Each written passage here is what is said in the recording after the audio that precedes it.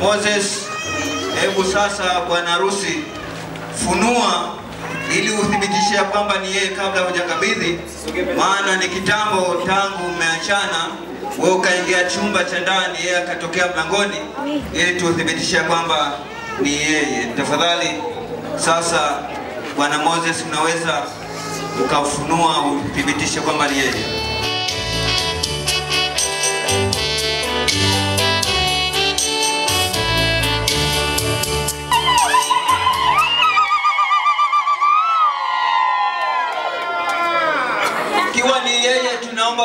Tunaomba tuthibitishie kwa sauti kwamba ni yeye.